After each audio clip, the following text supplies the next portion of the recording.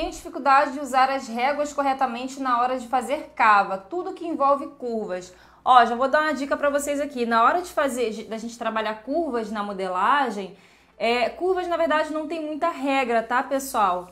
Curva é algo assim que vai variar um pouquinho. A gente tem diversos tipos de curvas para trabalhar a modelagem. E assim, é o que vai diferenciar mesmo o teu molde. Eu tenho aqui algumas curvas para mostrar para vocês. Aqui eu tenho uma curva mais longa e aberta.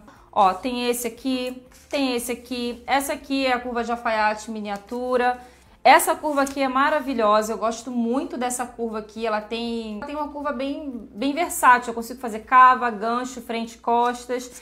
Também gosto muito dessa daqui. Então, gente, vai variar muito, tá? Vai variar bastante, porque quando você faz um molde, mesmo molde que o meu, mas usa uma curva diferente, você vai ter uma curvatura diferente. Por exemplo, na hora que você vai fazer é, gola, para você fazer uma gola, você precisa da medida do degolo frente e costas, não é? E aí, dependendo da, da curva que você fizer, se ela tiver mais acentuada ou mais suave, você vai ter uma medida de gola diferente da minha, por mais que você esteja fazendo o mesmo modelo. Então, assim, a curva, ela nem é tão importante, se ela não vai interferir tanto, sabe? Não vai deixar seu molde errado ou mais certo.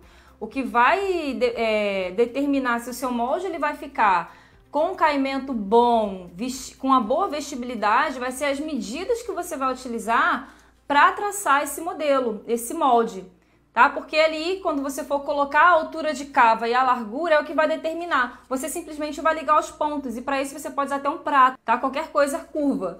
Então, essa é a dica, tá? Não se, não se prenda muito à curva perfeita.